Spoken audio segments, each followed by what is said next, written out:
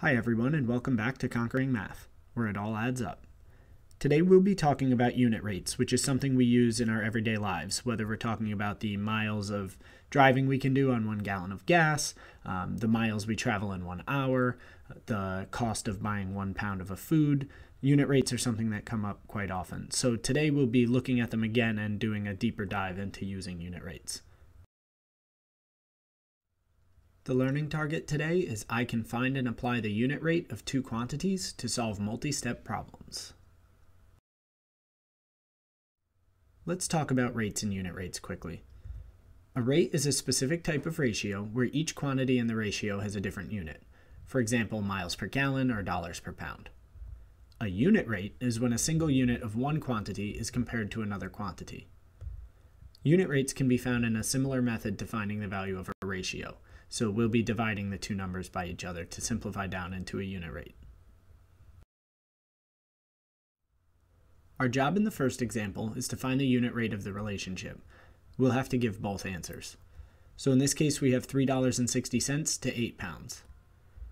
So the first thing we need to do is rewrite as a fraction and divide.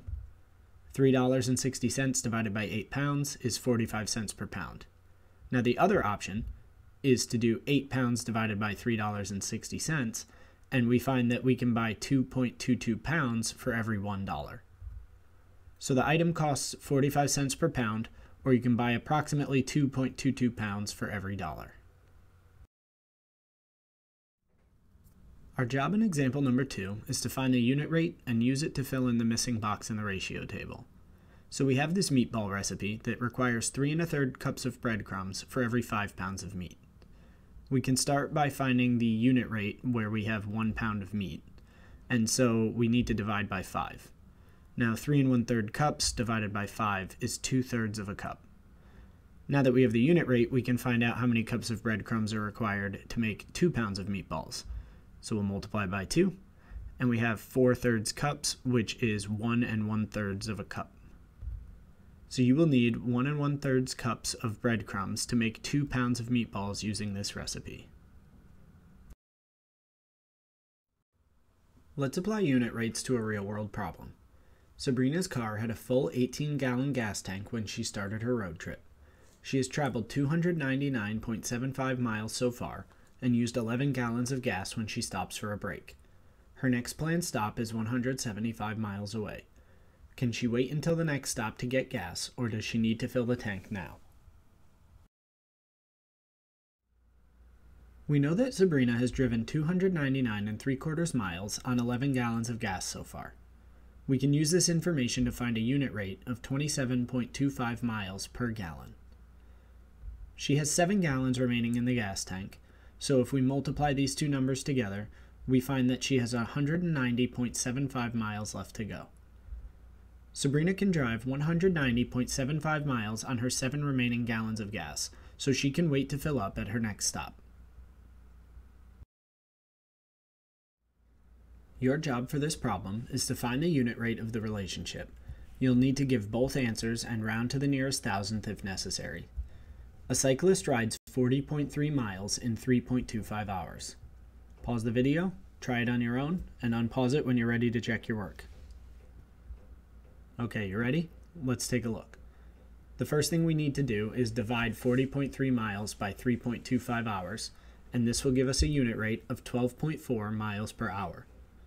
The other option is to divide 3.25 hours by 40.3 miles, which gives us approximately 0.081 hours for 1 mile.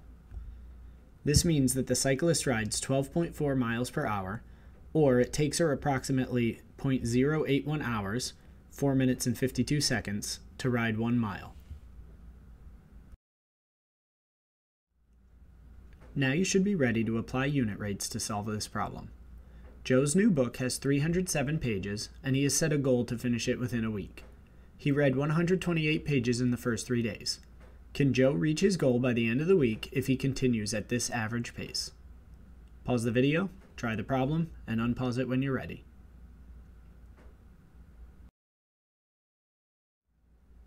We know that Joe's current reading rate is 128 pages in three days. If we divide these two numbers, we find that he has a unit rate of 42 and 2 thirds pages each day. He needs to read 179 remaining pages in 4 days.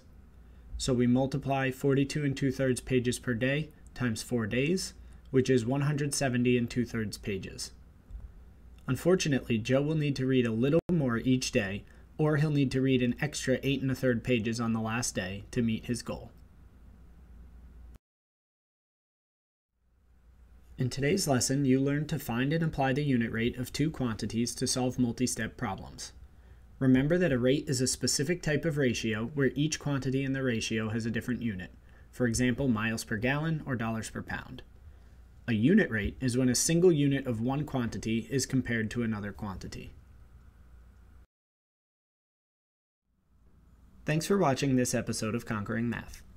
You can subscribe by clicking the button below, and you'll get access to more videos as soon as they're posted.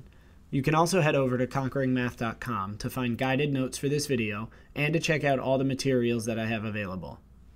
Thanks again for watching, and I'll see you next time.